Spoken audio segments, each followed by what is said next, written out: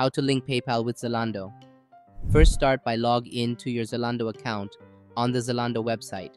Once logged in, navigate to the account settings or payment methods section. This is usually located in the profile or account settings dropdown. In the payment methods section, look for the option to add a new payment method or to edit your existing payment methods. Select PayPal as your preferred payment method from the available options.